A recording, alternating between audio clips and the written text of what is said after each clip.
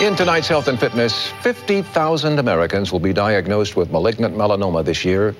8,000 will die, which is really a shame given that this deadly form of skin cancer is preventable and curable if it is caught early. Skin cancer is the most prevalent form of cancer.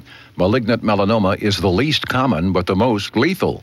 When discovered early, it's highly curable, but it is very aggressive and can quickly spread to other parts of the body. Fortunately, the signs of melanoma are easy to spot. The common rule of thumb is A, B, C, D. If the lesion is asymmetric, if the borders are irregular, if there's a color that's irregular, and if the diameter is greater than that of a pencil eraser. Dr. Kaplan says he's seeing a reduction in the number of cases among fair skinned patients.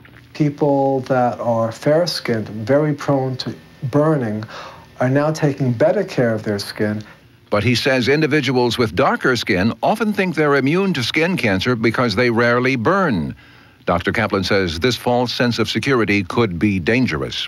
They are more protected because their skin is darker, but if you take enough sunlight and get enough ultraviolet light or go to a tanning bed enough, you'll also get a skin cancer too. Skin cancer survivor James Creasy has this advice for sun worshippers sun damage is cumulative and it doesn't go away once it's uh, repaired temporarily. So they must be very careful, uh, keep their skin covered.